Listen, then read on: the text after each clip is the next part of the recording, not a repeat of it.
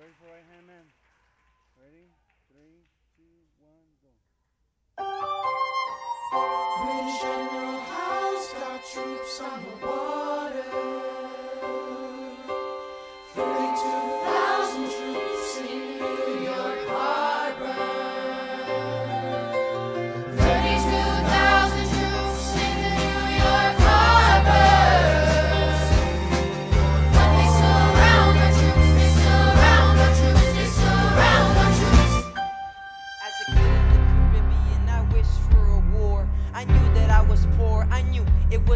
only way to rise up.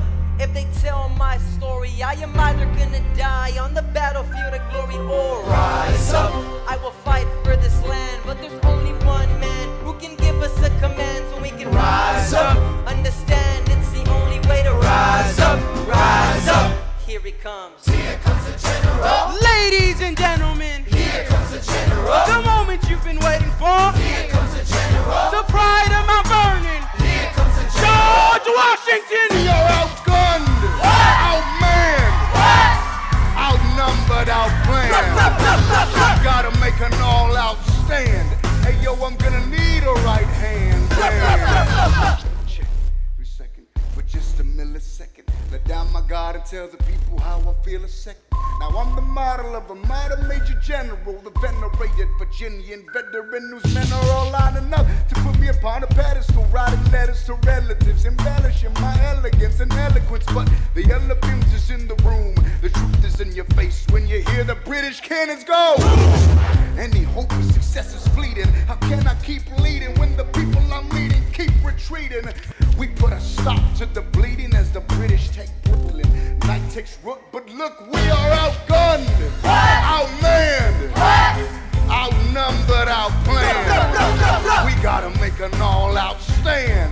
Hey yo, I'm gonna need a right hand man.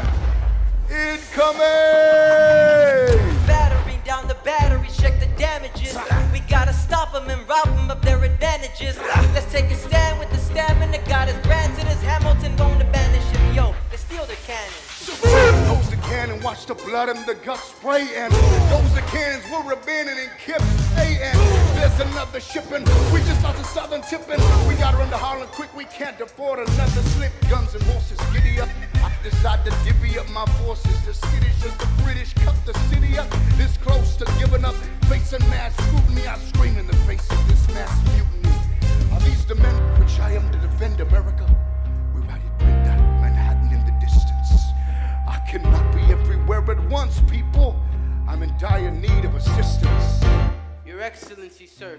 Who are you? Aaron Burr, sir. Permission to state my case. As you were. Sir, I was a captain under General Montgomery till he caught a bullet in the neck in Quebec. And well, in summary, I think that I could be of some assistance.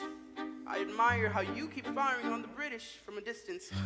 I have some questions, a couple of suggestions on how to fight instead of fleeing west. Yes. Well, Your Excellency, you wanted to see me. Hamilton, come in. Have you met Burr? Yes, sir. we keep meeting. As I was saying, sir, I look forward to seeing your strategy play out. Burr, Sir, close the door on your way out. Have I done something wrong, sir? On the contrary, I called you here because our odds are beyond scary. Your reputation precedes you, but I have to laugh. Sir? Hamilton, how come no one can get you on their staff? Sir. Don't get me wrong, you're a young man of great renown. I know you stole British cannons when we were still downtown. Nathaniel Green and Henry Knox wanted to hire you. To be their secretary? I don't think so. Now, why are you upset? I'm not. It's alright, you wanna fight, you've got a hunger. Just like you when I was younger. Head full of fantasies of dying like a martyr. Yes. Dying is easy, young man. Living is harder. Why are you telling me this? I'm being honest, I'm working with a third of what our Congress has promised. We are a powder keg about to explode. I need someone like you to lighten the load. So,